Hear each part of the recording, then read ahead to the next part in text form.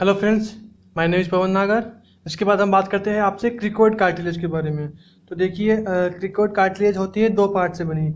इसका जो आगे की साइड वाला पूरा पोर्शन है, ये पूरा का पूरा पोर्शन आगे की साइड वाला दिस इज़ आर्च और इसके पीछे की साइड वाला पूरा पोर्शन है दिस इज़ लेमिना ओके तो ये हुआ आर्च देखिए ये पूरा हुआ आर्च आगे की साइड वाला आर्च हुआ, पीछे हुआ लेमिना ओके इसके बाद देखिए ये क्या होती है पूरी एनसर्कल देखिए पूरा सिंगलेट रिंग है तो ये क्या होती है पूरी एनसर्कल होती है।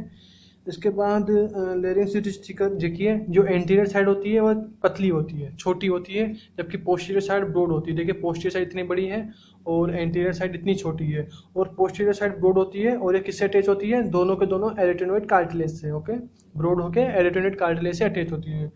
इसके बाद जो कि जंक्शन होता है ना दिस इज़ आर्च और ये है लेमिना ये आर्च है, ये लेमिना है, इन दोनों का जंक्शन पे जो थायराइड कार्टिलेज का, जो नीचे का हॉर्न है लेशर हॉर्न है, वह अटैच होता है और जॉइंट बनाता है थायराइड जॉइंट ओके इसके बाद इंफीरियर कॉर्न ऑफ़ थायराइड को आर्टिकुलेट जॉइंट बना लिया, इसके बाद देखते हैं इसके अटैचमेंट्स अटैचमेंट्स में कुछ नहीं है। देखिए, सबसे पहले बात करते हैं anterior point yes anterior point में क्या होती है? Cricothyroid muscles okay cricothyroid cricoid to thyroid होगी पिंक पिंक है ना? ये क्या है? क्रिकोथायरॉइड मसल्स है। इसके बाद देखिए एंटीरियर लेटरल एस्पेक्ट जो ये वाली है, जो ब्लू ब्लू से डिनोट की है, इस पर एक मसल्स होगी। This is cricoid cricoid to arytenoid कौन सी? देखिए फ़र्स्ट मसल थी cricoid to thyroid second muscle है क्रिकोइड टू एरेटिनोइड इसको क्या बोलेंगे? लेटरल क्रिको एरेटिनोइड मसल्स कौन सी? लेटरल क्रिको एरेटिनोइड मसल्स तो देखिए, ऐसे जाएगी ये। अंदर जाएगी, ये मसल पेंसिल क्या है? मसल्स अंदर जाइए और कहाँ पे देखिए ये मसल्स ऐसे अटैच होती है ओके देखिए, जो ये होता है ना, जैसे इलेक्ट्रोनिक कार्टिलेज इस पर यहाँ पे दो एंड होते हैं, एक होता है मस्कुलर एंड एक होता है इसका वोकल एंड ओके ट्राइंगल है तो जैसे मस्कुलर एंड ये होगा इसका वोकल एंड वोकल एंड पे वोकल कोर्स अटैच होगी और मस्कुलर एंड पे मसल्स अटैच होगी। तो देखिए क्रिको थायरॉइड आगे आई और ऐसे अटैच हो गई। देखिए, ये ये अटैचमेंट है किसका? लेटरल क्रिको एरेट्रोनल मसल्स का। देखिए, ये ऐसे लेटरल क्रिको एरेट्रोनल मसल्स होगी और ये कॉन्टेक्ट करेगी तो क्या होगा? देखिए, आपको नहीं दिख रहा होगा अडेक्ट करेगी। अगर ये मसल्स कांटेक्ट हुई, देखिए मसल्स कांटेक्ट हुई तो क्या करेगी? एडेक्शन कराएगी। देखिए, जो रेटिनोइड्स कार्टिलेज होती है, वो ऐसे राउंड मूवमेंट करती है, ऐसे ऐसे मूवमेंट करती है, ऐसे ऐसे।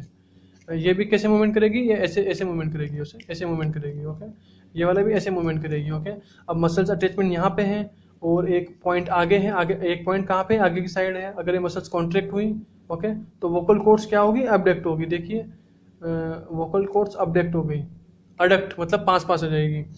इसके बाद एक और मसल्स होती है posterior crico arytenoid okay posterior crico arytenoid होती है, जिसे सेप्टिक मसल्स बोलते हैं। सेप्टिक मसल्स क्यों? क्योंकि जो यहाँ पे देखिए, ऐसे ऐसे वोकल कोर्स होते हैं दो, ऐसे।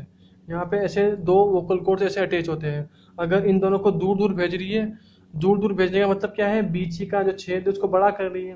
बड़ा कर रही है तो हमें कोई परेशानी नहीं होगी सांस लेने में ओके तो इसे बोलते हैं सेप्टे मसल्स के सेप्टे मसल्स किसको बोलते हैं? पोस्टीरियर क्रिको एरेटिनोइड मसल्स को, जो क्या कराती है? ये कराती है एबडेक्ट एबडेक्ट कराती है। जबकि लेटरल क्रिको एरेटिनोइड मसल्स क्या कराती है? अडक्ट ओके इन दोनों वोकल कोर्ड्स को पास पास लाती है। पास पास लाती है तो क्या होगा? वॉइस का प्रोडक्शन होगा।